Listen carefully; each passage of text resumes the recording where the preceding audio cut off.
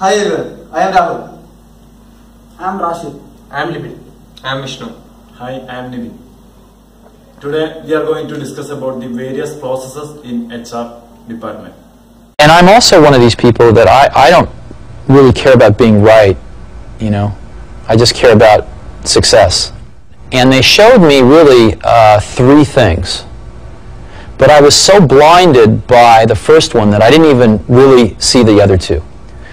Uh, one of the things they showed me was object-oriented programming.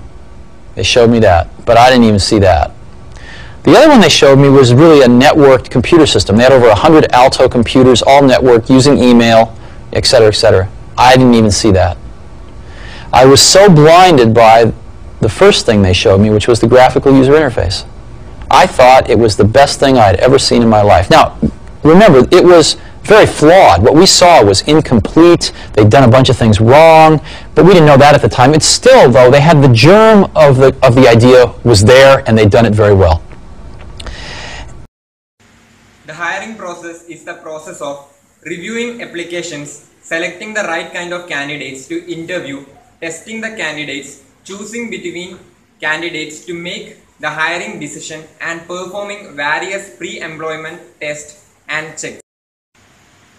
Steve Jobs made sure that Apple Store employees are unique individuals whose varied talents and experiences bring value to the way they connect people with Apple. So, whether you are analytical or creative, tech savvy or a people's person, the Apple Store provides an ideal opportunity to challenge yourself. There's a little bit of security in knowing that your company is investing in you. And so there's a culture, it's a mindset, it's a, a sense of confidence that a CEO can give their employees to help build loyalty. Uh, and it's, it's inexpensive compared to the retraining and the rehiring and the losing people uh, side of the business. You know, to be able to invest in somebody a small amount of a few thousand dollars a year and keep them, keep them happy. We've seen so many surveys over the years where, you know, people don't leave because of money.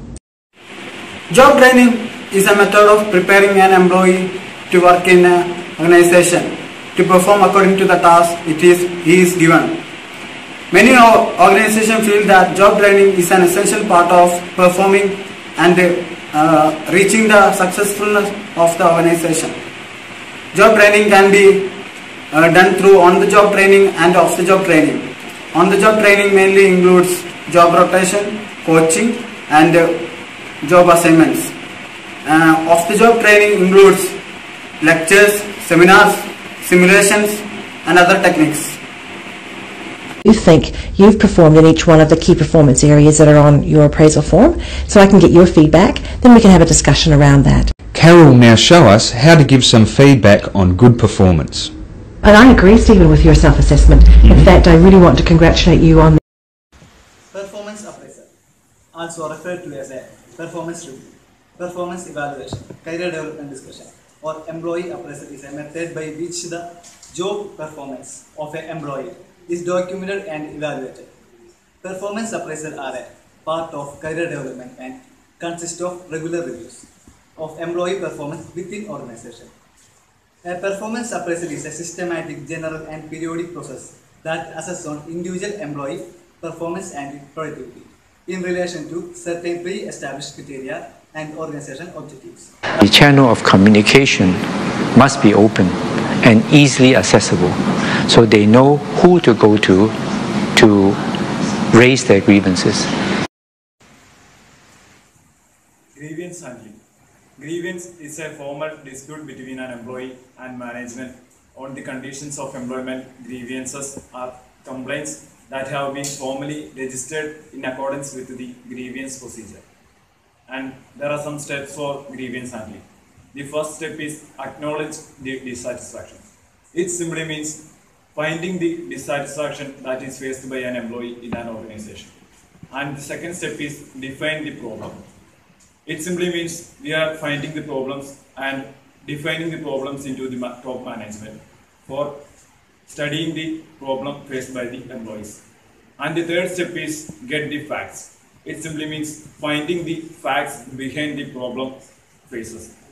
because there are many problems faced in, the, faced in an organization because of many reasons.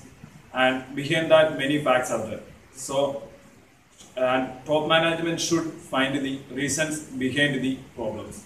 And the fourth step is analyze and decide. The in this fourth step, uh, the top management is analyzing the problem and deciding what the solution that is given to the employees. And the fifth step is follow up. It simply means implementing the steps for solution.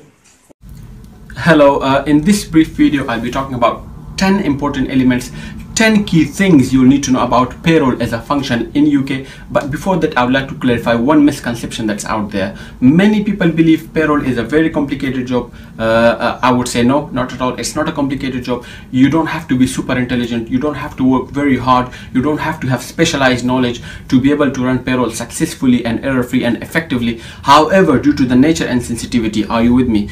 Due to the nature and sensitivity of the function itself, you need to have certain skills you need to have certain characteristics. I have categorized them into two. Number first, you need to have very good attention to details because there's too many bits and pieces of information that you need to consider. Number second, and most importantly, you need to be a very organized person because if you are not an organized person, Payroll management. Payroll management simply means money paid to the employees. It plays major role in the company for several reasons. From the accounting perspective, payroll is a crucial because payroll is and payroll taxes considered affect the net income of most companies and they subject to law and regulation. The payroll of a company they are used commonly two things. First one is the total amount of money the company pays to the employees. The second one is the company records its employees' salaries, wages, and bonus.